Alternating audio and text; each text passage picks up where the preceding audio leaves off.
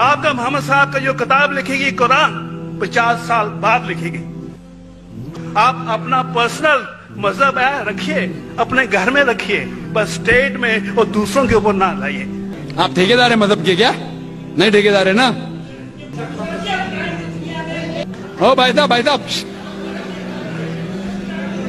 ना बिल्कुल सही। भाई साहब। डॉक्टर साहब मेरे पेरेंट्स हिंदू थे। पर मैं अपने को हिंदू नहीं मानता हूँ, मैं अपने को इंसानियत मानता हूँ, इंसान मानता हूँ। बाई चांस मैं जमा हूँ हिंदू जगह, घर, और आप जमे हैं इस्लाम के घर, और दूसरे जमे उनके घर, पर सबसे ज़्यादा है इंसानियत। और अभी तक मज़हब ने कोई भी मज़हब हो, इंसानियत के ऊपर अमल नहीं किया। आपने 12-13 साल से इसमें स्टडी कर रहे हैं।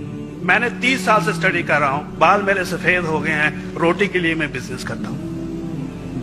पर जो किताबों के पढ़, आपने पढ़े हैं आपने ये जाँच की वो किताबें किसने लिखी हैं? हज़ारों साल बाद लिखी हैं पहले एक ज़ुबान की बात होती थी। कोई राम राम राम कह के उसके कहावत है मर मर मर कहने लगा उसको पूजना है। वेला ऐसी थी ग्रीक मैथोलॉजी ऐसी थी इजिप्शियन मैथोलॉजी ऐसी थी।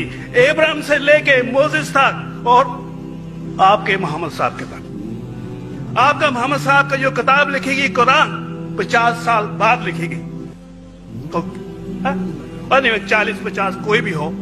पर मुझे माफ़ करना साहब, मैं आपसे एक सवाल ये उड़ना चाहता हूँ। हम सब इंसान है।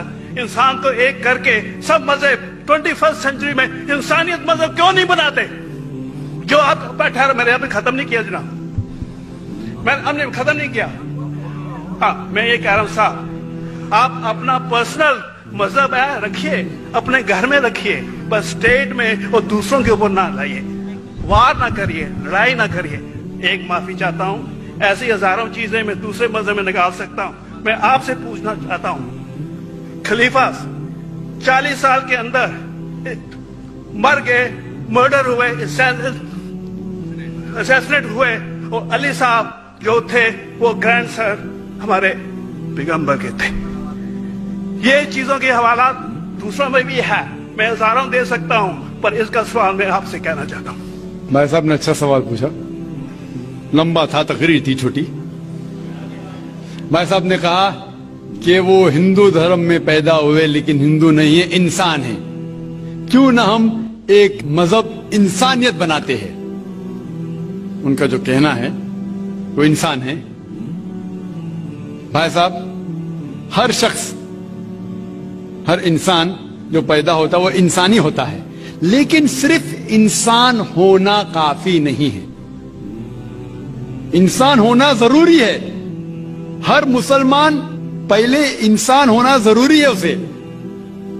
इस्लाम की सारे बातें, एक भी बातें मैंने कहा मैं तकरीर में, इंसानियत के खिलाफ नहीं है, एक भी बातें। मैं चैलेंज करता हूँ, आप एक भी बात इस्लाम की बुनियादी बात बताओ। तो इंसानियत के खिलाफ है। मुसलमान होने के लिए अच्छा इंसान होना ज़रूरी है। अगर आप अच्छे इंसान नहीं है तो मुसलमान हो ही नहीं सकते। लेकिन सिर्फ़ अच्छा इंसान होना काफ़ी नहीं है। मिसाल के तौर पे डॉक्टर बनने के लिए दसवीं पास करना ज़रूरी है, फिर बारहवीं, फिर डॉक्टरी तो मैं कहूँगा डॉक्टर बनने के लिए स्कूल पास करना ज़रूरी है। लेकिन स्कूल पास करना काफ़ी नहीं है। तो इस्लाम में अच्छा मुसलमान बनने के लिए अच्छा इंसान बनना ज़रूरी है, लेकिन सिर्फ़ अच्छा इंसान बनना काफ़ी नहीं है। समझ क्यों?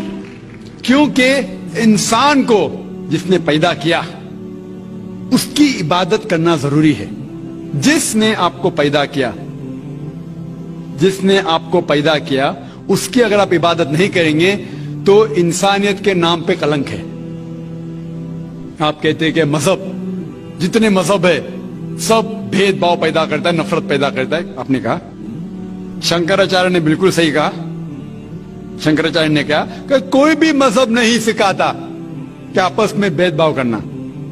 उनकी भी स्टडी है, मेरी भी स्टडी आपकी भी स्टडी है।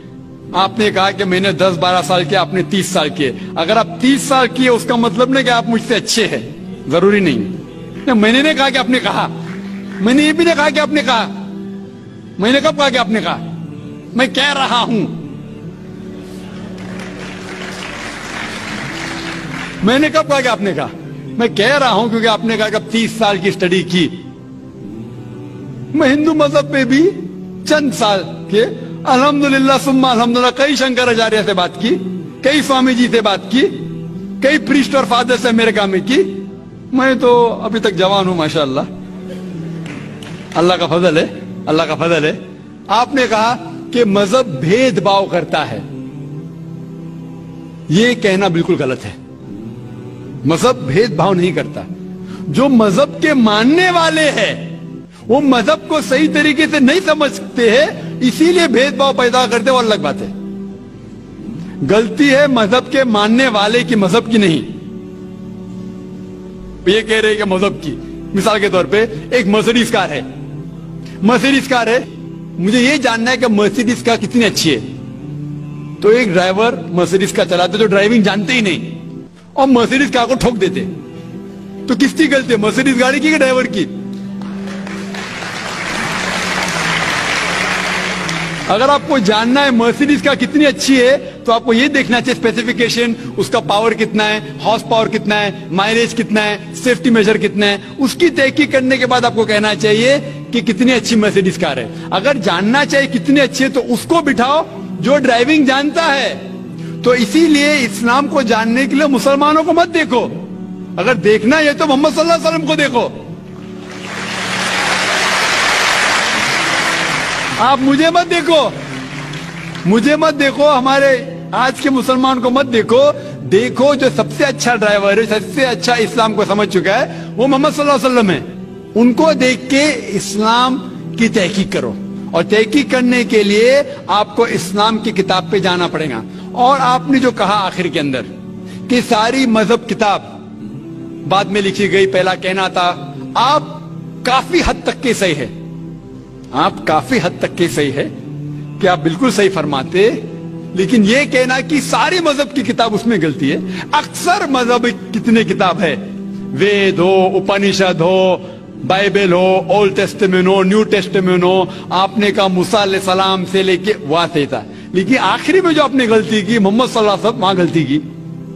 आखिर में आके आप अटक गए, आखिर में आके फंस गए। आपने शायद इस्लाम का मुताला सही तरीके से नहीं किया आपने शायद अरुण शुरू की किताब पढ़ी होंगी।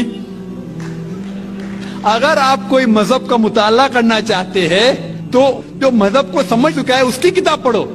आप अगर अरुण शुरू की किताब पढ़ेंगे और इस्लाम के मुताला करा कहेंगे ये किधर का सही फैसला है?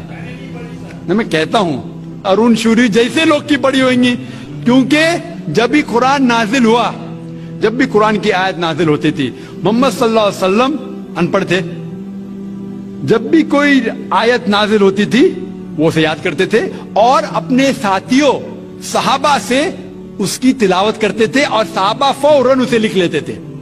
तो मोहम्मद सल्लल्लाहु अलैहि वसल्लम की मौजूदगी में हर आयत लिखी जाती थी और वो उसे चेक कर मिसाल के तौर पे इकरा बिस्म रब्बिकल लजी खलक। आयत नाजिल हुई उन्होंने याद किया, साहबा से कहा, साहबा ने लिखा इकरा बिस्म रब्बिकल लजी खलक। पढ़ के सुनाओ, पढ़ा हाँ सही। अगर गलती होती तुम्हारी टोक देते थे। तो मोहम्मद वसल्लम की मौजूदगी में जब भी अल्लाह सुबहाना व ताला आयत नाजिल करते थे, वो याद करते थे और लिखवाते थे और चेक भी करते थे। सारा कुरान मजीद मोहम्मद वसल्लम की मौजूदगी में लिखा गया। तो आप जो कह रहे वो हज़रत उस्मान का ज़िक्र कर रहे वही तो अफसोस की बात है। आपने सही मुताला किया ही नहीं। हज़रत उस्मान ने कई साल बाद चालीस पचास साल बाद जो आप कह रहे चालीस पचास यहाँ से आपको आया, उनने क्या कहा कि इस कुरान मजीद का जो नुस्खा है, उसको और नुस्खे बनाए जाए और बाकी लोग में फैला दिया जाए। क्योंकि लोग को इख्तिलाफ था रवानगी के अंदर। तो उसको दूर करने के लिए हज़रत उस्मान उनने कहा कि जो नुस्खा मोहम्मद सल्लल्लाहु अलैहि वसल्लम की मौजूदगी में था, उनने अपनी बीवी को दिया था अफसा को, और जो हज़रत उमर की बेटी थी, उनके पास महफूज था। उनने लिया और सहाबा, पाँच छह सहाबा जो जैद बिन थाबित उनकी सदारत में उसकी नकल की।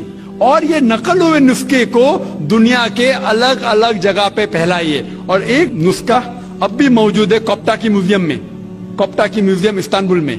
तो आप जो ज़िक्र कर रहे हैं, वो उतारे हुए कुरान शरीफ का ज़िक्र कर रहे जो हकीकत में कुरान शरीफ है, वो मोहम्मद सल्लल्लाहु अलैहि वसल्लम की मौजूदगी में लिखा गया था।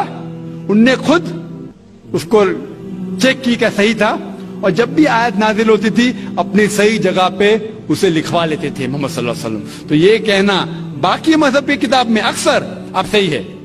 मिसाल के तौर के ऊपर बाइबल, सेवेंटी ईयर्स बाद लिखा गया है। वेद, वो सैकड़ों साल बाद लिखा गया कितनी पुरानी वेद है, कभी वेद आया दुनिया में ये किसी को पता ही नहीं। वो आपके हिसाब से, स्वामी दयानंद सरस्वती के हिसाब से 1310 मिलियन ईयर्स ओल्ड 1310 आप अभी, आप थोड़ी ठेकेदार है मज़हब के। आप ठेकेदार है मज़हब के क्या? नहीं ठेकेदार है ना?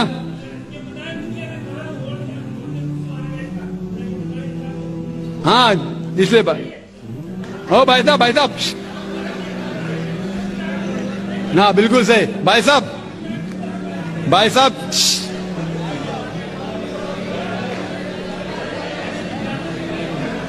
भाई साहब, इसीलिए इख्तलाफ जो है, ये कम इल्मी के वजह से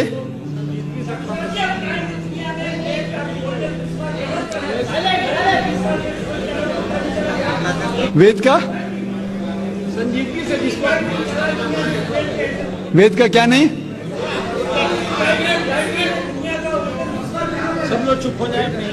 भाई साहब ने कहा कि दुनिया का सबसे ओल्ड स्क्रिप्ट वेद है। वो कुछ हिस्टोरियंस कहते बट ओल्ड होना मतलब नहीं कि सही। जो कुछ ओल्ड है, वो सबसे बेहतर होना ज़रूरी नहीं।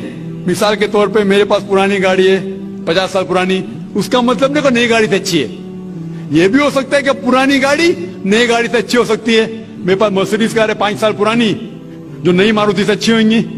तो ये कहना कि कोई किताब या कोई मज़हब पुराना इसलिए बेहतर है, बिल्कुल गलत है। जो आदमी को अक्ल है, वो कभी भी ऐसा नहीं कहेगा कि पुरानी चीज़ बेहतर, नई चीज़ बेहतर। वो चीज़ बेहतर है जो हक के ऊपर है।